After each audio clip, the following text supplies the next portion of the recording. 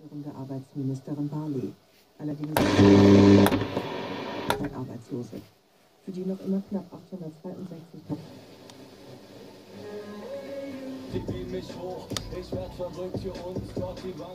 Eine Minderheitsregierung noch Neuwahlen.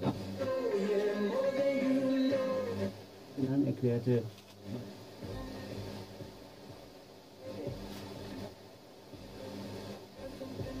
Gebieten, die zu sogenannten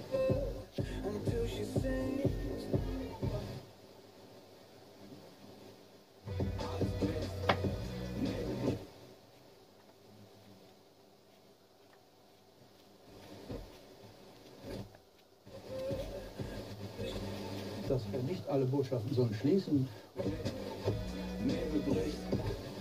Pferde. In der Dennis Schwalm, NDR 2 aktuell.